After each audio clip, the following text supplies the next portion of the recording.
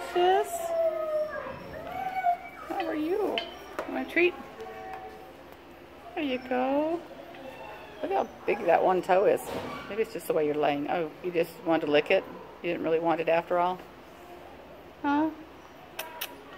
You're a cute baby. You are um, a little female about a year old.